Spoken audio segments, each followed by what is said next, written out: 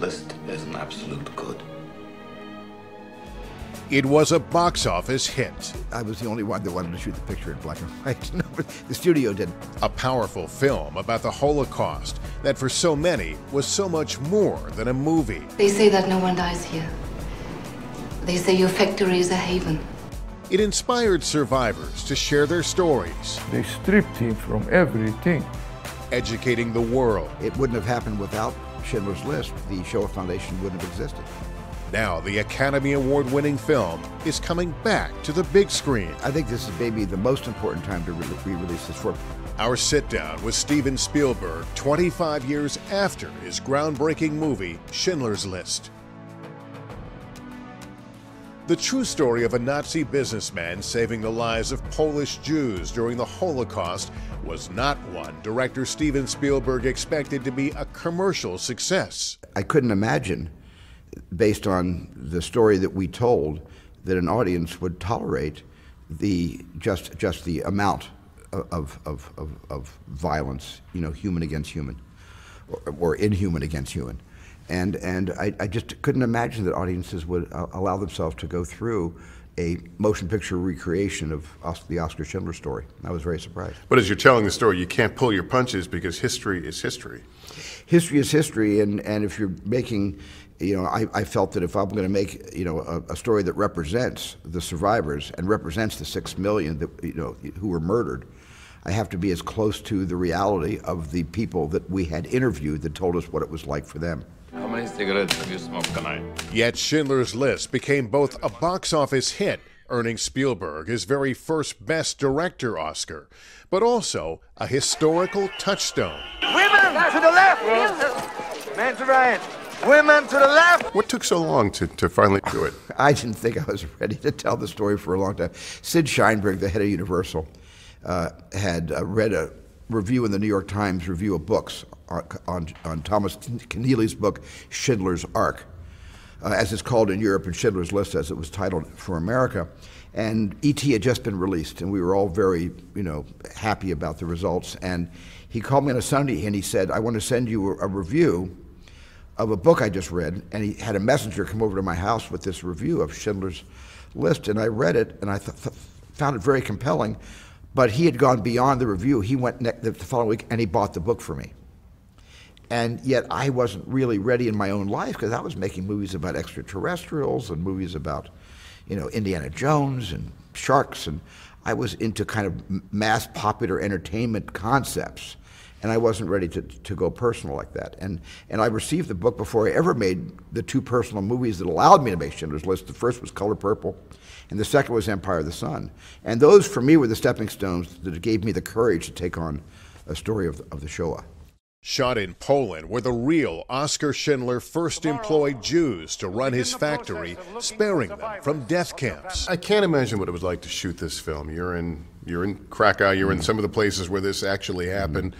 Um, I know there's there's cameras around and, and all the trappings of movie, but the scenes had to have taken a personal toll on you, your crew, your cast. Yeah, it, it- well, I think everybody felt that we were uh, memorializing something, and it felt to all of us as if we were shooting in a cemetery. So there was a kind of amazing, um, uh, I guess you'd just call it a, a equanimity of respect, and it was quiet on the set, and everybody just did their work. No one was laughing, no one was telling jokes, no one was talking about, you know, um, you know, football scores back home. It was really, really one of the most. I've only had this experience twice. One was shooting Schindler's List, and the second time it was very reverential was shooting Lincoln. The, the two times that, that I think the entire company came together to pay their respects and how quietly they dedicated their work. But you met Schindler's survivors along the Yes, a lot of them That's a lot of pressure on a director. You're telling their story. telling their story. but- And you, Yeah. you have to you have to make it for an audience, a Right. theater audience, but also you want to be true to them, right? Yeah. But God bless the one Schindler survivor that came over to me. Uh, it, it was, uh, I believe her name was Nuisa Nussbaum, and she, it was the little girl that Schindler kissed that sent Schindler to prison uh, for kissing a, a, a Jew. Um, a bit of an act of sedition, I guess they called it. And, uh, and she was, we invited her, we invited a lot of the survivors to watch their scenes being reenacted. And she, she came over to watch us shoot. And she came over to me and she said, I want to tell you my story. And I said, Well, I'm telling your story. She said, Oh, that's nothing. That was a tiny part of my life. I want to tell you my entire story of what my life was like, who I am. I want you to see me. And I want to be able to, you tell my story so, so, that story can inform everybody about what happened to me and others like me. And she was the one that put into my mind an idea that maybe when this film is finished, I can tell many stories like hers and, and send people all over the world to find the survivors and allow all of them to become teachers. And, uh, and that's how the Shoah Foundation began. The film pulled no punches, remaining bound to a brutal history. The emotion of the, the movie itself mm-hmm. shooting it, I mean, the, the scene when the women are led into the shower mm-hmm. and they look at those nozzles, I felt that I was feeling their fear, that moment of uncertainty about what's about to happen. Yeah. How difficult was that scene to shoot? Well, let me, uh, let me just say this: no one acted that day. Mm-hmm. You know, um, professional actors. A lot of them were brought in from Israel to play the, the, the, the Jewish characters. Um, there was no acting. I mean, I mean, they took off their clothes, and we, we were very quiet, and we led them toward the showers, and there was a massive kind of, you know, traumatic reaction that was almost, um, it, it, just, it, one reaction inspired the next reaction, and there was kind of a virtual panic that really happened in that very dark space and uh, it was just frightening. And we, we did it over and over and over again the entire day. And uh, that was one of the one of the moments on the entire film where nobody had to be an actor. Nobody had to to, to practice their, their their art, their craft. They they they existed in that reality. And they showed all of us who they really were and how they really felt. And you know, violence is a part of so many movies now, and suspense yeah. and fear. This movie takes you to a different level of fear and, and looks at violence through a a different lens, if you will. Was that, was that an important leap for you to make? You know, I never thought about the degree of violence I was willing or able to, to interpret and show an audience. I, I probably, I, I, I shot this movie more intuitively than I've ever shot any movie in my life. And when I was not using my, my mind and I wasn't intellectualizing or I wasn't, you know, wrestling with should I do it this way or that way, but the ideas were coming to me so naturally, and and and and there was no effort in for me to know what I wanted to do next during a shooting day. It just seemed to happen. Every every shot just seemed to be the only shot that was possible to really tell the truth about that dramatic moment. And so it, it's one of the few times I've made a movie where I can look back on it and say, I didn't plan anything. It just came out of me, and it came out of everybody. Ralph Fiennes, you know, you know, Liam Neeson, uh, Ben Kingsley. I think all of us, you know, that story allowed all of us to tap into our intuitive, uh, uh, you know, selves to be the best we could be in that in those moments. Spielberg insisted the film be shot in black and white. You shoot it in black and white. Yes. What was what was the thinking about that? I was the only one that wanted to shoot the picture in black and white. the studio didn't. Sid was fine with it, but everybody under Sid was saying, "How do we sell cassette?" No one thought the film was going to make any money, and they were going to go ahead and give me 19, 20 million dollars to go to Poland to tell the story, which I knew was going to be uh, over three hours long. Um, and they were doing it uh, knowing that were, it was more of a public service message, less of a commercial enterprise. But they were hoping they would make some money when they sold the cassettes, because it was a huge sort of, you know, ancillary market uh, for movies in those days, not, sure. not anymore. And, uh, but they didn't think they could sell a cassette if it was in black and white. And at one point that they were negotiating with me, they said, shoot it in color, we'll release the film in black and white, but then we'll release the cassette in color. And I said, no, this is, I don't know the Holocaust in color. I wasn't around then. But I've seen documentaries on the Holocaust. And anybody who's seen any documentaries, they're all shot in black and white. It's my only reference point. And you, you wanted this to feel real? I wanted to feel real. And the only reference point we had, the only, it, it was contextualized in black and white for anybody that watched a documentary on, on it. So there were a few moments of color. And, you know, one of the things as I watched it the, the little girl in red. What was the symbol symbolism there? Well, you know, in the book, uh, Oscar Schindler, and uh, through all the interviews of all the people that, that survived the Thomas Keneally interview before he wrote his book, uh, Schindler couldn't get over the fact that a little girl was walking dur- during the during the liquidation of, of, of the Krakow ghetto, and everyone was being put on trucks or shot in the street, and one little girl in a red red coat was being ignored by the SS. The SS were taking everybody, but somehow they were ignoring this six-year-old child walking down the street wearing the brightest color, it, it, it, and yet she wasn't being she wasn't being seen. And to me, that meant that the people, you know, Roosevelt and Eisenhower, and probably Stalin and Churchill knew about the Holocaust. It was a, it was, it was a well-kept secret and did nothing to stop it. It was almost, the Holocaust itself was wearing red. And yet we did nothing to bomb the Ostbahn, the German rail lines. We did nothing to bomb the crematoria, where there would, would be many casualties, but would slow down the industrialized process of murder for perhaps as long as three to six months, would have saved hundreds of thousands of lives, and we did nothing about it. And for me, it was like a glaring red flag that anybody, if they were really watching, could have seen. And Schindler, it caught his eye, and that was It caught his attention. That's the other reason that was very important. It, it caught his attention because he looked at that, and it, it, it changed something in him. That moment in his life changed him.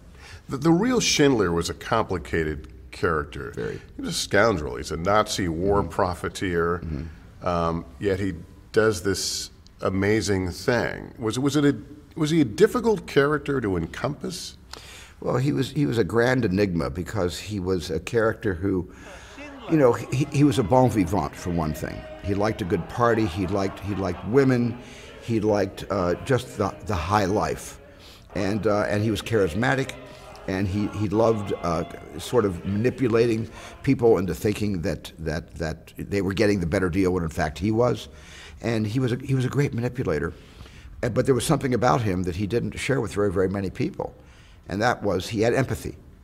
In, in, in a world at a time where, where empathy didn't factor in, in terms of an industrialized genocide, such as the Holocaust was, that here was a man who had a great deal of respect and understanding and empathy, which he hid from his cohorts, his, his Nazi collaborators, but he shared with his workers who were all Schindler Jews. This is one of those unfair questions, like who's your favorite child? But but your your body of work, we're, we're all familiar with with, you know, how many places you've taken us. How does this rank, Schindler? This is the most important uh, experience I had being a film director and, and a storyteller.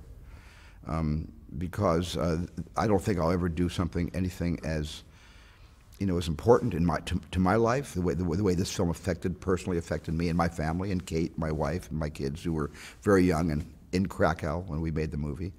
And so this, for me, is, you know, uh, something that I will always be proudest of. It was an education for you, I assume.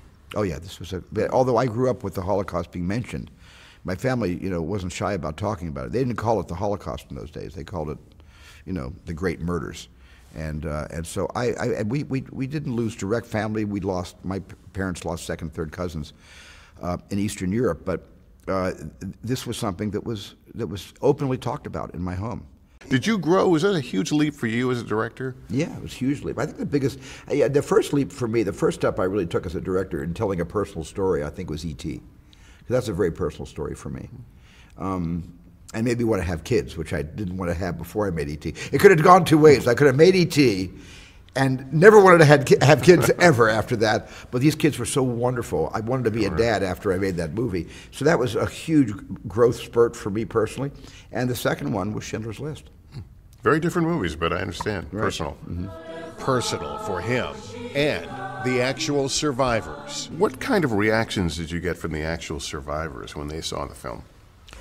Uh, a lot of the survivors wouldn't allow themselves to see the film because they had already they'd already seen Majdanek and Treblinka and Auschwitz and and and Sobibor, and so a lot of the survivors, you know, w- w- truly loved and respected the fact the film was made, and the film was getting such a profound response, but they didn't have to endure it.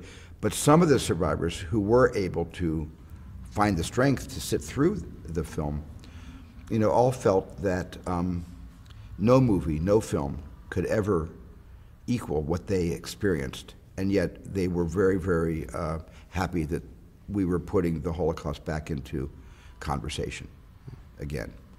But, but, but, but I have never heard a survivor say to me, "Uh, "Your film was worse than what we went through." Everybody said, "Uh, "Your film is gets us." Get, people are now talking about. They're not forgetting our stories, we must never forget that the Holocaust happened, and that's why we're happy you made the picture.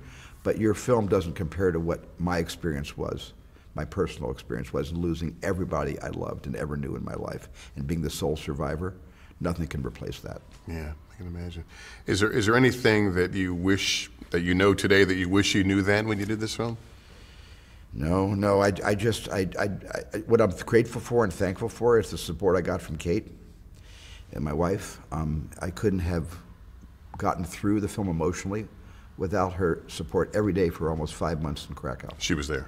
Every second she was there. My kids were all there too. Yeah. Were they on the on the set during the shooting? Not, not, not during the violent parts, but during parts that they came to the set to visit. But Kate was there all the time. But she understood the She emotional understood what. I was going through, and I understood what, what it felt like for her to, to see all, uh, to experience what her private hell was watching those scenes being shot. So I, I couldn't have done it without her.